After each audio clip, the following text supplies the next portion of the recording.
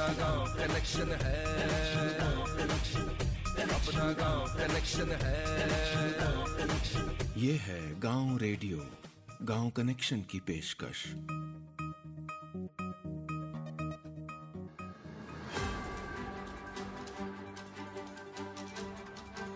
नमस्कार तारीख 14 अक्टूबर दिन शनिवार। ये गाँव कनेक्शन का पॉडकास्ट इस हफ़्ते खास है। गाँव कनेक्शन के इस पॉडकास्ट में आज बात करेंगे उत्तर प्रदेश के किसानों को किन किन पैदावार के लिए राज्य सरकार मदद देगी। बारिश के बाद देश के कई गाँवों में तेज़ी से फैलते बुखार और मौत पर क्या है गाँव कनेक्शन की ग्राउंड रिपोर्ट? और दुनिया भर की महिलाओं में क्यों बढ़ रहा है स्तन कैंसर? सबसे पहले बात अच्छी खबर से। गेहूँ, सरसों जैसी रबी फ़सलों की अच्छी पैदावार के लिए उत्तर प्रदेश सरकार किसानों की मदद करेगी। प्रदेश में रबी फ़सलों की बम्पर उत्पादन की तैयारी चल रही है। प्रदेश सरकार ने इस बार बुआई क्षेत्रफल के साथ ही उत्पादन बढ़ाने की तैयारी की है। राज्य सरकार ने खरीफ फ़सलों जैसे धान, मक्का, बाजरा, ज्वार की खरीद के साथ ही रबी सीज़न में खाद्यान्न और तिलहनी फ़सलों का उत्पादन बढ़ाने के लिए रणनीति तैयार कर ली है। किसानों के खेतों से अधिक उत्पादन लेने और आय बढ़ाने के लिए किसानों को नई तकनीक बताई जाएगी। फ़सल सघनता में वृद्धि के लिए किसानों को साल में दो या तीन फ़सल लेने के लिए प्रोत्साहित किया जा रहा है। किसानों को खरीफ में खाली खेतों में तोरिया या सरसों की बुआई के लिए जागरूक किया जाएगा। वहीं जहाँ गन्ना की खेती हो रही है, वहाँ गन्ने से खाली होने वाले खेतों और अरहर के खाली खेतों में पछेती गेहूँ की प्रजातियों की बुआई को भी सरकार प्रोत्साहित कर रही है।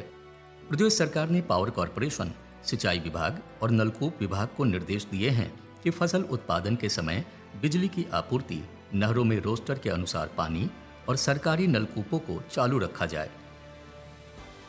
उत्तर प्रदेश, उत्तराखंड, बिहार और तमिलनाडु में मलेरिया और डेंगू का प्रकोप बढ़ रहा है। प्रदेश में बारिश के बाद कई गाँवों में तेज़ी से फैलते बुखार और मौत की वजह जानने जब गाँव कनेक्शन की टीम ग्राउंड में पहुँची तो कई चौंकाने वाली बातें सामने आईं। जितनी भी मौतें बुखार के बाद हुई, उनका संबंध मच्छर से होने वाली बीमारी से था। प्रदेश के सीतापुर, लखीमपुर, खीरी और बाराबंकी में बुखार से हो रही मौतों के बाद यहाँ के लोगों को स्थानीय प्रशासन और स्वास्थ्य विभाग ने अपने आसपास मच्छरों से बचाव की सलाह दी है। सितंबर में भारी बारिश को उत्तर प्रदेश के कुछ जिलों में बुखार के बढ़ते मामलों से जोड़कर देखा जा रहा है। टेस्ट रिपोर्ट, मच्छरों से होने वाली बीमारी मलेरिया की ओर इशारा करती हैं। गाँव के लोग इसके लिए रुके हुए पानी के तालाबों और गंदी नालियों को जिम्मेदार मानते हैं। प्रदेश के स्वास्थ्य विभाग का कहना है कि सभी जिलों में मच्छरों से निपटने के इंतज़ाम कर दिए गए हैं और हालात काबू में हैं।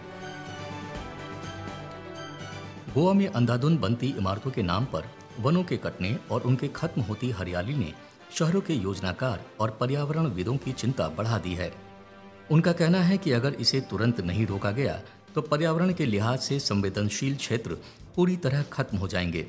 इसके लिए ज़रूरी है कि जाँच और संतुलन पर कड़ाई से काम किया जाए। गोवा के गाँवों तक में सड़क, इमारत और बुनियादी ढांचे के मकसद से तेज़ी से निर्माण का काम चल रहा है।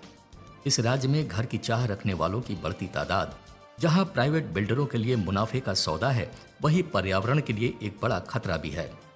गोवा में व्यावसायिक गतिविधियों के कारण पेड़ों की संख्या तेज़ी से कम हो रही है।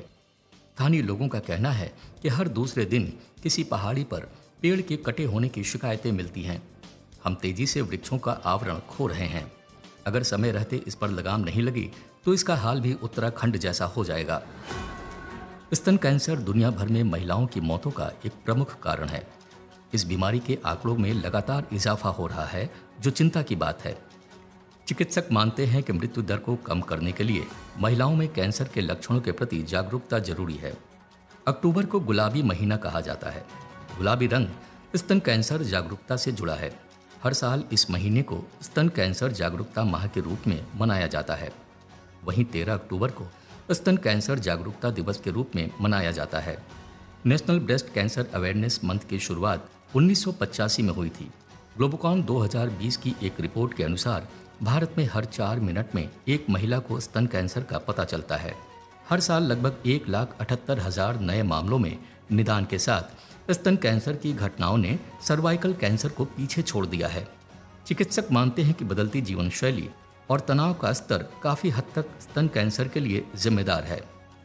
वसायुक्त उत्पादों का अधिक सेवन, करियर को प्राथमिकता देने के कारण लड़कियों के विवाह और पहले बच्चे को जन्म देने की औसत आयु 25 से 30 वर्ष होने तथा बच्चे को स्तनपान न कराने के कारण भारत में हर साल स्तन कैंसर के आंकड़े बढ़ते जा रहे हैं।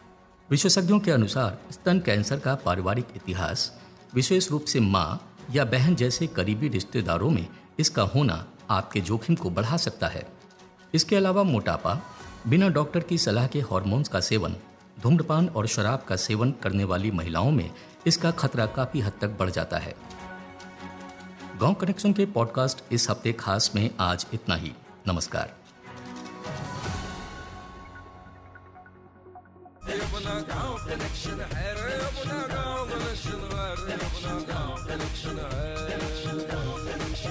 ये है गाँव रेडियो गाँव कनेक्शन की पेशकश। कनेक्शन है।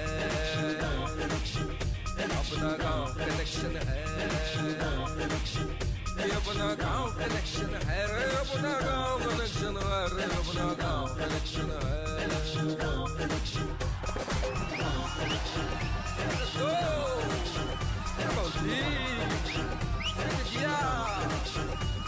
Look at you!